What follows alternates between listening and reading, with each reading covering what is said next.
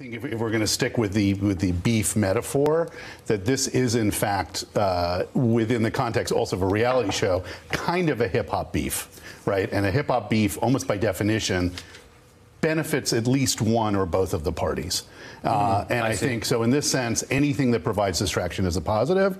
And so this actually represents a new type of distraction that is interesting as drama, but you never know if it's real or fake. I would even posit that it's possible that these tapes actually are completely fabricated.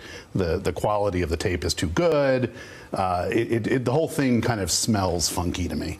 Uh, well, and when you say that it's like a beef where both sides benefit because the conflict is what escalates and elevates them to some degree, of course, Rich, this goes to the, the famous saying, What's beef? Beef is when you need two tweets to go to sleep.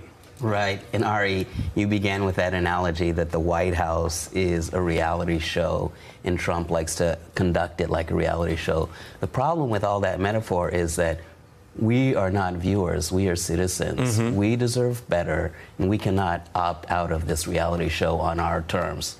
The world, in many cases, is going to fire, and then we're sort of saddled with all this mess. And we are distracted, as Michael has said. And so, this business of and to your point, what about Scaramucci? What about Pruitt? It's just a parade, horror show of, of disastrous hires.